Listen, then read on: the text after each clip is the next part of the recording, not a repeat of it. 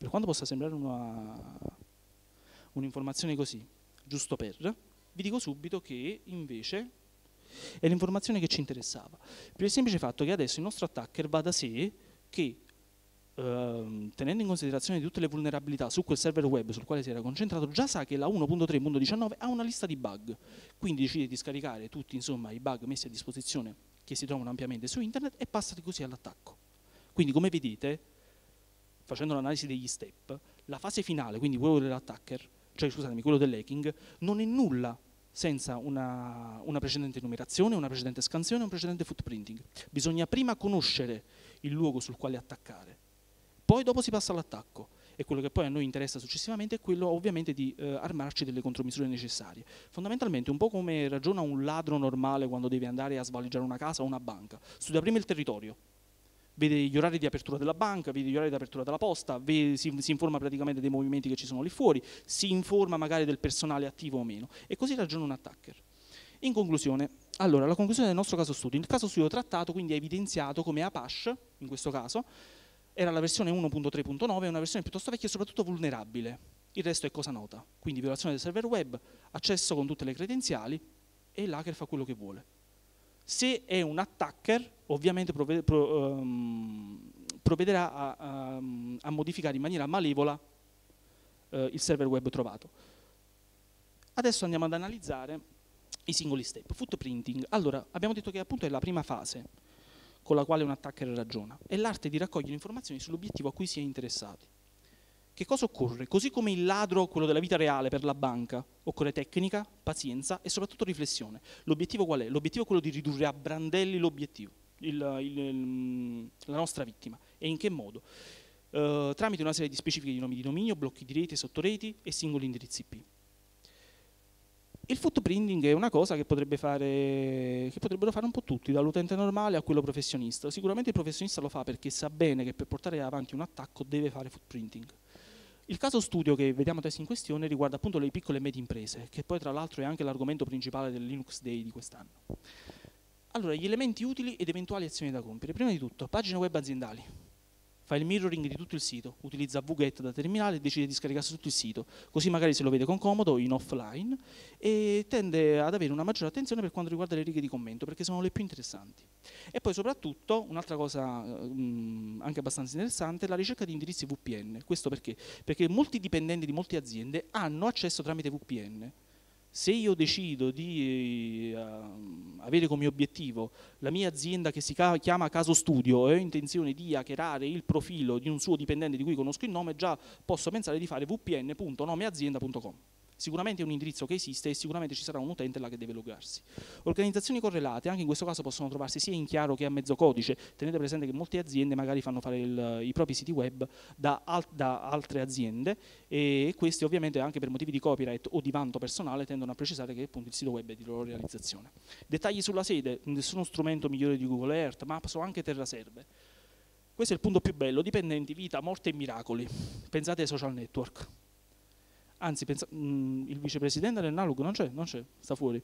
Pensate che quando abbiamo fatto la ricerca degli sponsor, perché bene sì, per mantenere questa, questa baracca abbiamo bisogno di sponsor, eh, abbiamo fatto un pochino di footprinting sui dipendenti di qualche azienda che ci interessava.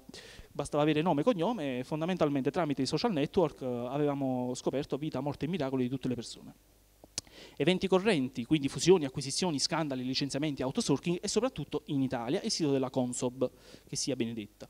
Le politiche di sicurezza, quindi ogni dettaglio, attenzione a questa cosa, ogni dettaglio fa la differenza, perché se l'attacker in questione ha una talpa all'interno di quell'azienda e le politiche di sicurezza escono fuori, è la fine informazioni archiviate nella cache di Google, in piccolo, vabbè l'ho dovuto scrivere in piccolo perché in pratica non c'entrava, c'è praticamente il modo per trovare uh, la cache uh, di Google di un sito di esempio, infatti se riuscite a vedere c'è www.esempio.com, quindi basta digitare quella stringa sul proprio browser e poi arrivare quindi alla cache di Google relativa a quel dominio.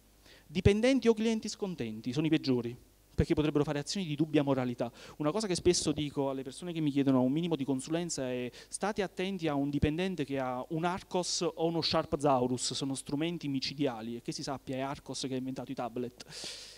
Motori di ricerca, il caso di Google Hacking Database, vi consiglio di cercarlo su internet, contiene le stringhe di ricerca ehm, per arrivare ovviamente a quelle che sono le vulnerabilità che ci interessano, un pochino come il nostro caso studio, solamente che quel caso studio ovviamente eh, per motivi di tempo non ho avuto l'opportunità di aggiornare. Ovviamente molto altro ancora, perché indipendentemente da queste informazioni che può eh, avere chiunque a disposizione, ci sono quelle anche leggermente più tecniche, cioè l'enumerazione di un server VIS o DNS, per enumerazione intendiamo una scansione mirata a una determinata vulnerabilità, sui server VIS e sui server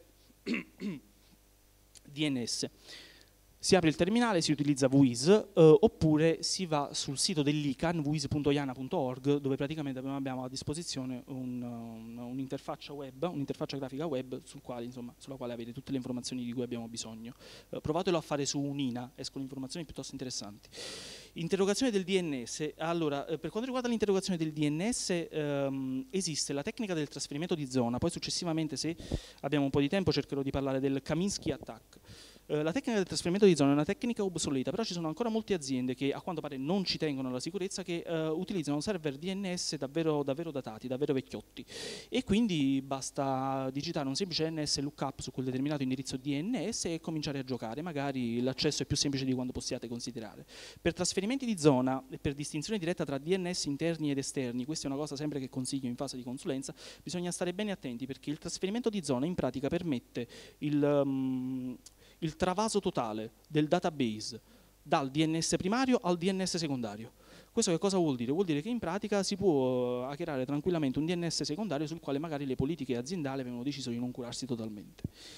Riconoscimento della rete tramite le tecniche di trace routing, eh, tramite terminale, sempre trace route, nome host da terminale, consente di visualizzare il percorso seguito da un pacchetto IP durante il suo viaggio.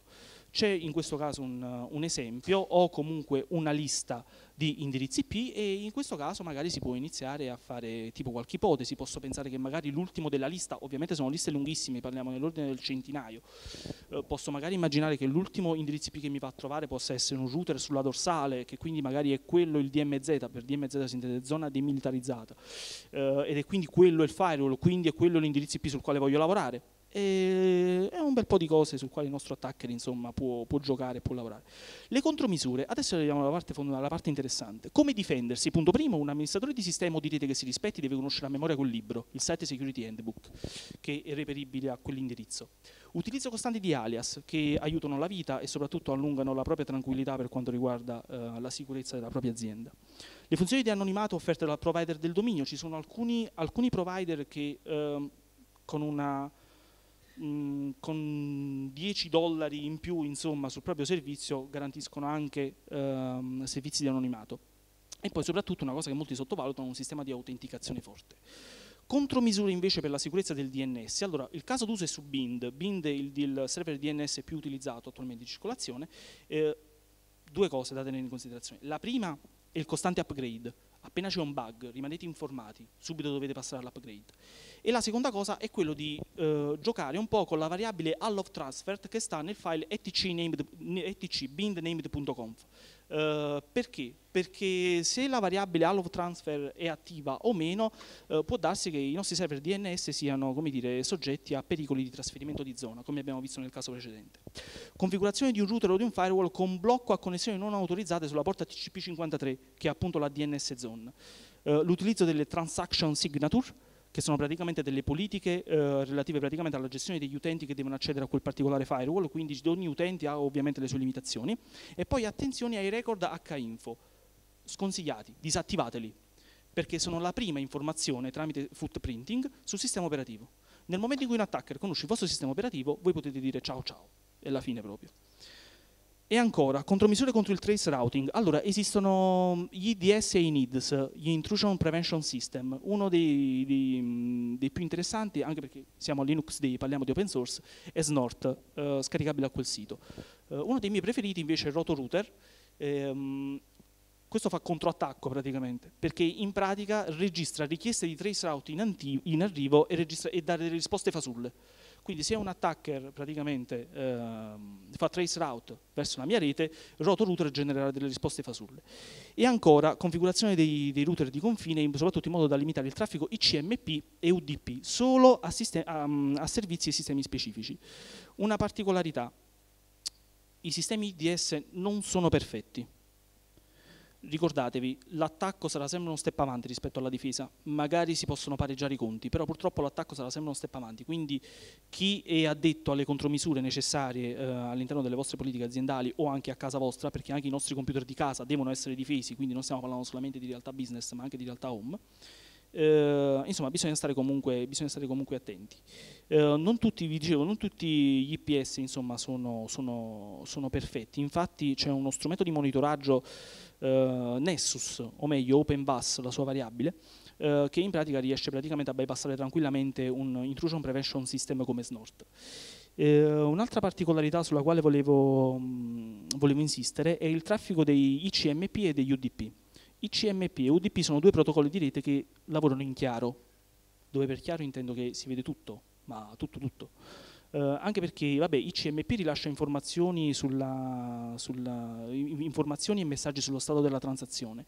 Invece UDP eh, praticamente vabbè, si preoccupa solamente di un passaggio diretto di pacchetti senza curarsi di quelli che ha perso per strada. E chi usa WhatsApp? Nessuno usa WhatsApp? Bellissimo. Perfetto. Uh, WhatsApp utilizza UDP. Le vostre informazioni viaggiano in chiaro e una delle, delle particolari... Prego? Certo, infatti una, de, una, delle una, delle ultime due vulnerabilità uscite che sono proprio di WhatsApp, una è per quanto riguarda le conversazioni in chiaro e una per quanto riguarda l'autenticazione. Quella delle conversazioni in chiaro a quanto pare sembra che sia stata risolta, però quella dell'autenticazione invece tramite Mac si ha, si ha ancora a disposizione. E non utilizzatela, anche perché non è software aperto, quindi non ci interessa. Scansione. Allora, che cos'è la scansione? La scansione non è altro che picchiettare contro le pareti qua stavo cadendo, per trovare tutte le porte e le finestre. Attenzione a quello che c'è sottolineato in parentesi, magari già aperte, perché in questo magari già aperte c'è già la contromisura. Le tecniche adottate quali sono? Sono quelle del ping sweep, eh, delle query CMP e soprattutto dell'individuare i servizi in esecuzione. Il ping sweep non è altro che il bombardamento di ping sulla vittima e si può fare praticamente tramite questi strumenti, fping e nmap, eh, e ICMP enum. Eh, fping ha la particolarità che invia in parallelo i ping, in round robin, nmap quando funziona con l'opzione SP e poi giustamente eh, ICMP enum fa enumerazione sui protocolli ICMP. Query ICMP altrettanto, con l'attenuante che questi, perché non li ho segnati, li segnerò prima di pubblicarli, eh, danno informazioni base sul sistema, quindi orario, lingua, eh, versione del sistema operativo installato. E poi soprattutto, adesso quelli più interessanti, individuare servizi in esecuzione o in ascolto, perché ricordate bene il caso studio, abbiamo lavorato sui servizi che erano in ascolto, quelli che avevano le porte aperte. Gli strumenti interessanti che voglio porre alla vostra attenzione, Strobe. Strobe è un cattura banner e lavora sulle porte TCP. Strobe è un programma eh, potente, purtroppo però lavora solamente su TCP, se lavorasse sugli altri protocolli come Netcat o Nmap sarebbe davvero una gran cosa. Eh, scusate, come Netcat, perché Nmap pure lavora solamente su due protocolli. Strobe è stato scritto nel 1995 da un tale Julian Assange. Chi lo conosce? Ah ok, perfetto non siamo a livello di WhatsApp, però ok. E, um, altro strumento UDP Scan che funziona come strobo ma su protocolli UDP. Netcat, lo ripeteremo all'infinito, è l'arma definitiva, guardatevi davvero bene il manuale perché uh, possono uscire delle cose interessanti. E poi Nmap invece fa scansioni di base sia su protocolli TCP che UDP. Allora, un particolare caso d'uso, e qua magari eh, ritorniamo anche sull'enumerazione sull dei servizi DNS.